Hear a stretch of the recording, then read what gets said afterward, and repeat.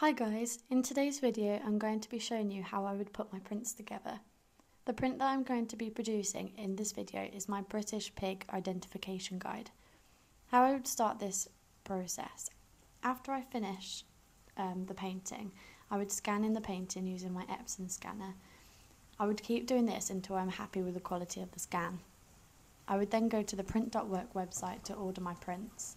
All of my prints and postcards come from print.work. Once they have arrived, I sign each of my prints by hand. I cut my foam board to match the size of the card frames. After I've done that, I will then carefully place the print into the card frame, masking taping the prints down, and then I finally add the foam board to the back. I put all of my uh, prints into biodegradable sleeves.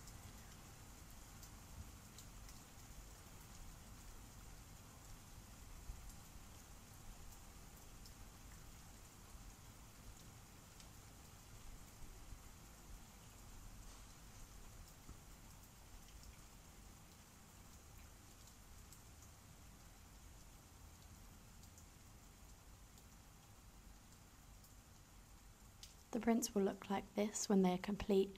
These are then ready to buy. I sell these prints for £15. All of my prints can be found on my Etsy page. Thank you for watching.